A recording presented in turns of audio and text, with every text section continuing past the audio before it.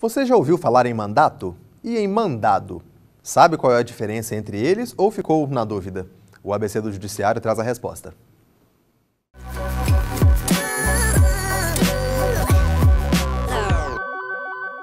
Mandado e mandato? Não. Só mandato.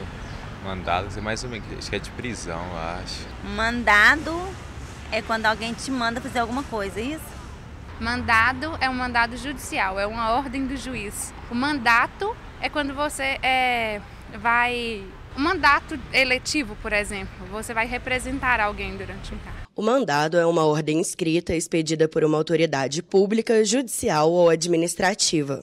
É por meio do mandado que o magistrado determina ao oficial de justiça que pratique um ato processual específico, que pode ser uma intimação ou até mesmo um ato mais complexo, como despejo, reintegração de posse, busca e apreensão.